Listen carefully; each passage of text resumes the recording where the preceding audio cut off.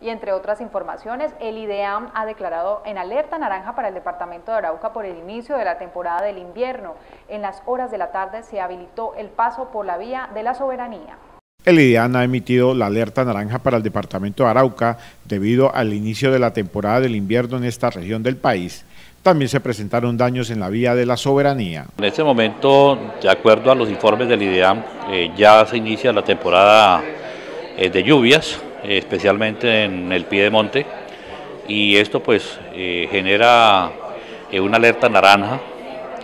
eh, para que las comunidades, especialmente ribereñas, estén atentos y los órganos, organismos de socorro estén activados frente a cualquier situación que se pueda presentar por la ola invernal. Múltiples afectaciones en diferentes sectores del departamento y esto ha hecho que los consejos municipales de gestión del riesgo eh, estén eh, en máxima alerta, eh, teniendo en cuenta que hay que adoptar medidas para evitar cualquier tragedia, especialmente con las comunidades asentadas en las riberas de los caños y de los ríos, que son los que crecen de manera inusitada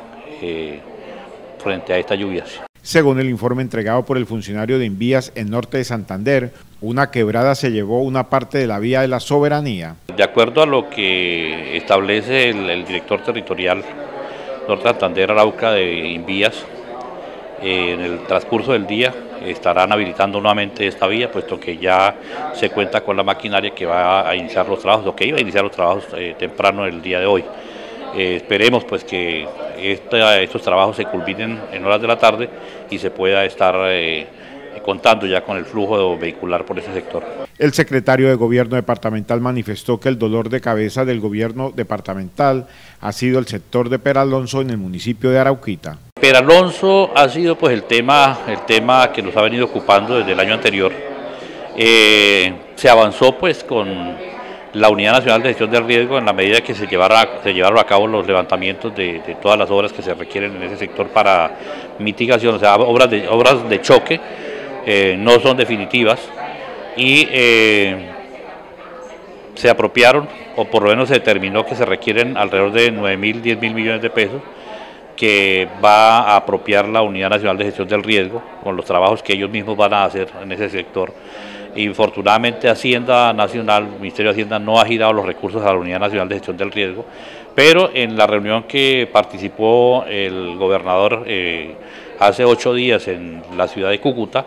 eh, hubo un compromiso y una orden directa del señor presidente en el sentido que tenía que girarse los recursos de manera inmediata para que envías, perdón, para que la Unidad Nacional de Gestión del Riesgo inicie los trabajos. Este sector está eh, muy crítico, sabemos que si dependiendo de, la fuerza de la ola invernal, eh, se puede llevar eh, la, parte de la bancada que queda allí eh, y esa parte pues obviamente haría que Arauquita y,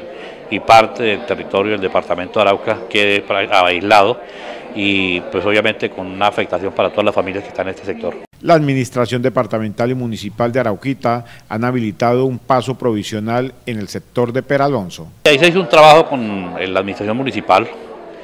eh, se logró que el propietario del predio aledaño a donde está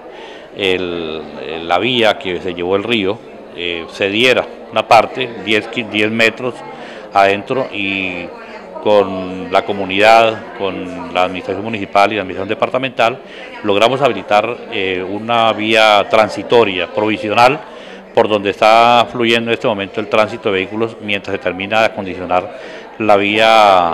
alterna que se, a lo cual el gobierno departamental giró eh, mil millones de pesos al gobierno municipal y ya pues los trabajos están a punto de terminar. Sin embargo, pues la preocupación es no lograr una obra que contenga eh, el río, la fuerza del río en este momento y que pues se nos lleva eh, la parte de la bancada de, la vía que está todavía ahí y obviamente arrasaría con la vía provisional que, está, que se montó y acabaría también con la vía eh, que estamos terminando de adecuar en este momento. Mientras tanto, los comités de gestión de riesgo y desastres de cada uno de los municipios del departamento de Arauca deben de estar informando las novedades en cada municipalidad.